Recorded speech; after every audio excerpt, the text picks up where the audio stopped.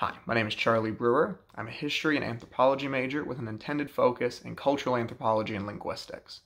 What I'm interested in is promoting positive cross cultural interactions as well as diversity and cultural preservation.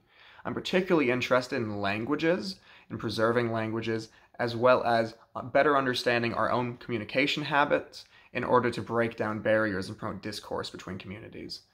Um, I'm the drum major of my high school's marching band, and that experience has taught me how important good communication is, good teaching habits, and good leadership habits are to bringing out the best in people. And it's also shown me how music can help to bring people together. And I really want to explore how other forms of cultural expression can do that as well.